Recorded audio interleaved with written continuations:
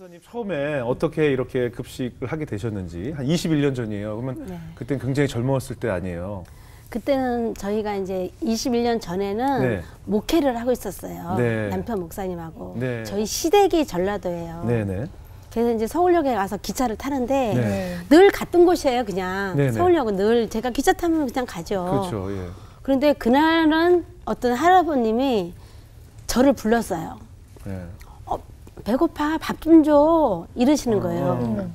근데 제가 시댁을 가는 중이라 밥이 또 없고 아무것도 없어서 어떻게 해요? 그랬더니 컵라면 사달라고 그러시는 거예요. 네. 그래서 이렇게 서울역 주변이니까 이제 가게들이 있잖아요. 네, 그래서 네. 제가 컵라면을 하나 사드렸어요. 예. 그랬더니 뿔치도 물 붓고 제가 뚜껑을 이렇게 덮어드렸는데 그냥 해서 이렇게 이렇게 해서 그냥 막 잡수는 거예요. 익기도 전에. 익기도 전에. 너무 배가 고프니까. 너무 아. 배고파. 그래서 국물로 다 잡수고 아우 저렇게 맛있게 드시나 안 익었을 건데 내가 어. 속으로 그랬더니 한 개 더 사줘요 이러는 거예요. 아. 그래서 네. 그 안에 가서 하나 더 사서 안에 가서 잡수셔요 추운데 했더니 아 들어가면 안 돼 안 돼 왜요 제가 사니까 들어가도 돼요 안돼 그래요 그 라면을 다시 사갖고 나왔어요 음. 근데 제가 고민이 된 거예요 왜 안에 들어가서 먹으면 안 될까 어. 그러니까요. 내가 돈 주고 내가 돈을 냈는데 네. 어 진짜. 예, 그때는 제가 이제 사모였잖아요. 그래서 네. 어왜 그러지? 그리고 그걸 몰랐어요. 음. 그리고 시댁에 갔다가 그냥 목회 현장에 가서 음. 목회하다가 이렇게 목회를 하는데 이제 목사님이 신방을 자주 다니시잖아요. 그래서 제가 음. 이제 신방을 따라가는데 문득 그분이 너무 보고 싶은 거예요. 음. 음, 갑자기. 예, 그 할아버님이 너무 보고 싶어요. 음. 그리고 제가 서울역을 갔어요. 어머. 그 할아버지 찾으러. 예, 그 할아버지 너무나 고- 보고 싶은 거예요. 예. 막 찾을 가슴에서 수가 막. 있어요, 가면? 아, 그 혹시나, 몰라요. 어, 혹시나 해서. 네, 그냥 어. 그냥 그 컵라면 주는 자리에 가면은 어. 만날 것 같은 그런 마음, 네. 그냥 어. 그거예요, 그냥. 그 할아버지 막 찾았어요. 그랬더니 서울역이 저 구석에 계단 옆에 네. 그 할아버님이 계신 거예요. 아, 그 만났어요. 네. 어머. 근데 그 할아버지 손을 꼭 잡고 할아버님, 할아버님 저 알아요? 그랬더니 이렇게 보니 아 저번에 컵라면 사준 색시잖아. 아, 어머. 두 개, 두 개. 어머 기억하죠. 어. 기억하시는 그래서 어. 머 저 아세요? 그랬더니 아 알지. 그랬더니 왜 여기 계세요? 그랬더니 어 나 갈 데가 없어. 그래. 그, 어. 왜갈 데가 없어요? 그랬더니 나 노숙자야 이러시는 거예요. 그래서 아, 노숙자가 뭐지? 도대체 노숙자가 뭐야? 지하도로 저를 데리고 가는 거예요 그때. 어. 지하도 갔더니 또 그 어르신이 할아버지가 말씀하신 노숙인이 거기 이렇게 이렇게 앉아 있는 거예요. 음, 여러분들이. 예. 예, 그래서 저분들이 다 집이 없대요. 네. 밥은 어디서 먹어요? 그랬더니 그냥 여기 가서 얻어먹고 저기 가서 얻어먹고 뭐 이렇게 한대요. 그래서 그때 밥 사드릴게요. 식당 가요. 저 점심 안 먹었으니까 저랑 같이 밥 먹어요. 그랬더니 안 간다고 그러시는 거예요. 그래서 왜 안 가세요? 그랬더니 내가 냄새가 나서 아. 식당에서 못 들어오게 해. 이런. 아니 제가 돈 낼게요. 그랬더니 아니야 쫓아내. 이래. 그래서 뭐 이런, 이런 식당이 다 있나 이래서 음. 그럼 어떻게 할까요? 그랬더니 그러면은 라면 사줘 이러는 거예요. 그래서 컵라면 하나 사고 음, 옆에 집에 이제 김밥 이렇게 말아서 파는 집이 있어요. 네네. 그래서 김밥 두 줄 사고 그분 라면 두 개 먹으니까요. 네. 라면 두 개 사는 것보다 한 개 하고 김밥 두 개 먹는 게 나을 것 같아요. 네. 아, 그렇죠. 든든해서 그렇죠, 그렇죠. 밥이 들어가니까. 밥이 밥이니까 네. 그래서 라면 사고 이렇게 해서 갖다 줬. 그랬더니 밥 사왔다고 저보고 눈물을 흘리면서 제 손을 막 잡으시는 거예요. 그리고 와서 제가 목회 현장에 와서 이제 목회를 열심히 했어요. 네. 그랬는데 그 사람이 잊혀지지가 않는 거예요. 아.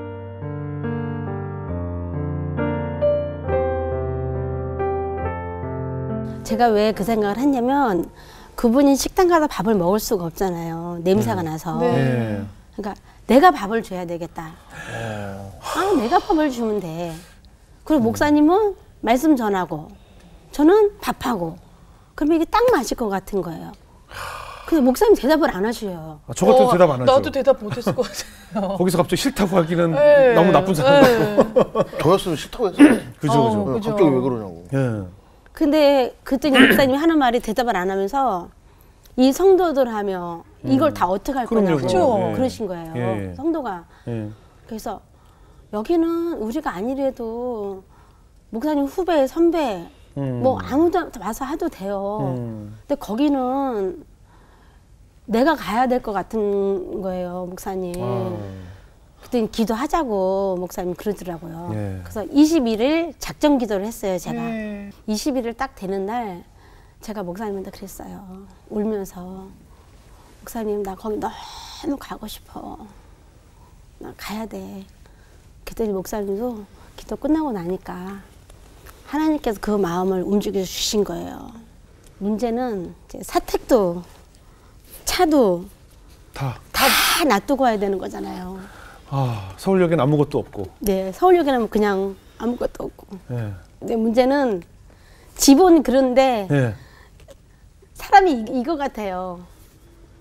이제 예를 들어서 차를 타다가 갑자기 걸어 다니라 그러면 네. 너무 불편한 거예요, 목사님은. 아. 그럼요, 당연하죠. 아, 예. 그렇죠. 차를 따로 다니라. 예, 그럼요. 집도 그동안 이- 익숙했던 것을 놓고 그죠. 불편한 것을 찾아가야 되잖아요. 네. 음. 근데 이제 제 마음속에 늘 그때 자식하고 남편한테 미안한 마음이 있지요. 그럼요.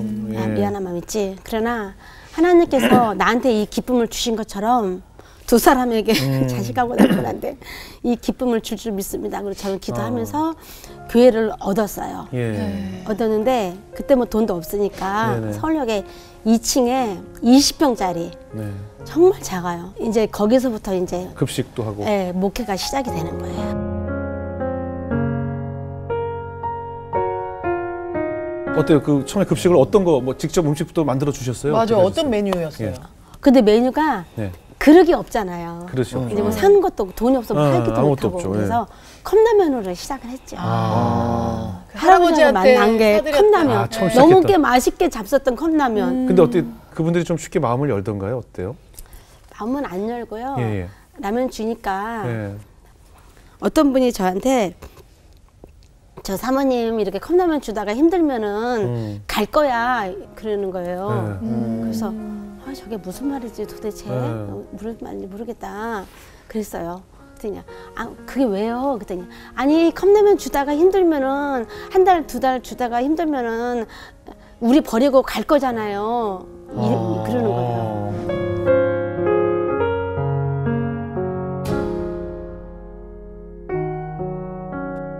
그 구르마를 끌고 제가 이제 교회로 와야 되잖아요. 예. 오면서 하염없이 제가 눈물이 나는 거예요. 아, 저 사람들이 얼마나 가슴에 맺힌 게 많고 그렇죠, 그렇죠. 가족한테 맺힌 게. 많으면 예. 나한테 컵라면 주는 나한테 버리고 갈 거라고 저렇게 말을 할까 음. 하나님 제가 저들을 버리지 않게 제 마음을 붙잡아 주세요 음. 아.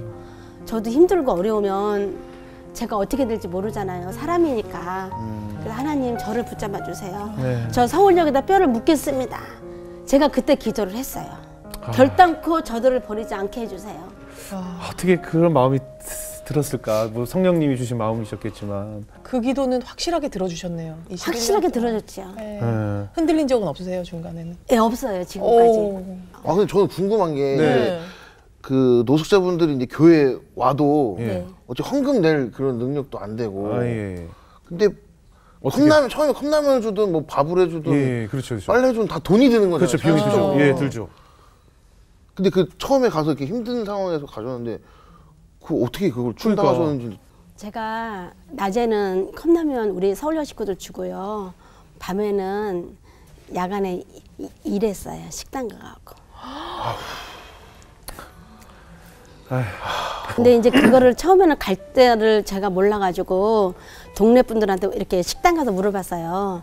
저 식당에서 일하려면 어떻게 해요? 그랬더니 야간에 할 건데 우리는 야간 안 써 이러는 거예요. 그래서 그러면 그거는 거 알아보려면 어디 가서 알아봐야 돼요? 그랬더니 뭐 파출부 뭐 직업 속에서 이렇게 네, 써 있는데 네. 파출부 그러면은 여자들도 취업을 시켜준대요. 네, 네. 그래갖고 제가 동네에서는 못 하잖아요. 그래서 남편이 목사님인데 아. 그래갖고 제가 강남으로 갔어요. 아, 그랬더니 파출부 이렇게 쓴 데가 있어요. 아 있어요. 예, 예. 네, 그래서 제가 올라갔어요. 어. 저 일하러 왔어요. 그랬더니 무슨 일 잘해요? 그래서 아니 그냥 저 주방 일은 잘 못하고요. 저 서빙하면 안 돼요. 제가 네. 그랬어요. 그랬더니 네. 어 젊으니까 서빙하면 되겠다 그러시는 거예요. 어 그러면 내일부터 나와 그래서 아니 저 내일 낮에 못 나오고요. 저 밤에 일해야 돼요. 그랬어요. 그랬더니 낮에 뭐 하는데 그래 그래서 아니 그냥 낮에 제가 뭐 하는 거 있고 밤에 일해야 돼요. 그랬더니 그러면 아홉 시부터 그 다음날 아침 9시까지 일하는 거 있는데 그거 할 거냐고 그 월급 얼마예요? 네. 제가 그랬어요. 네, 얼마요? 그랬더니 주간에서 일하는 것보다 야간이니까 월급 많이 주지 이러는 예. 거예요. 예. 그래서 아니 밤에 누가 밥을 먹어요? 그랬더니 어. 먹는데요. 예. 저 깜짝 놀랐어요. 밤에 그렇게. 어. 그래서 가신 데가 어디예요? 그 가신 데가. 강남에 추어탕집.